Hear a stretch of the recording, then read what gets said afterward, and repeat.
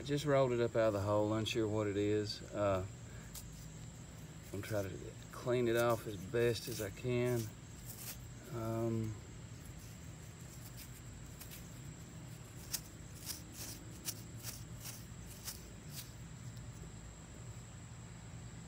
nothing on that side. I can see something on it. Let's see if I can rub it just a little bit.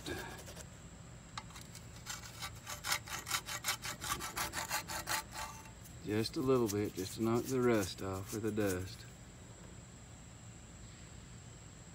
Yeah, it's got something on it. There'll be a part two to this one, guys. Hang tight. Let's clean this up and I'll bring it back to you. Let's go find something else. Like for part two. Or part two's coming anyway. All right, guys, got it cleaned up.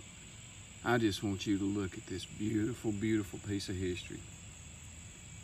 You look at the top, Lookout Mountain, and then Chattanooga right where my thumb's at, and then right there you have American Legion.